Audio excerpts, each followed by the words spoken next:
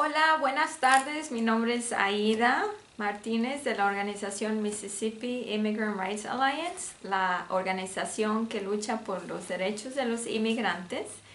Y estamos aquí con mi Mississippi y queremos compartir con ustedes una gran oportunidad. Es ah, el aniversario 10 años después de Katrina y nos han pedido que recolectemos historias de latinos durante esa tragedia.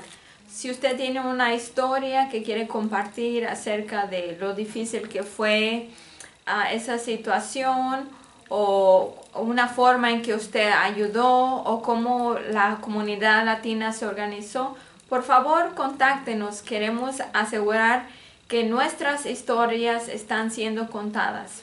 Usted puede encontrar mi información al final de este video. Gracias.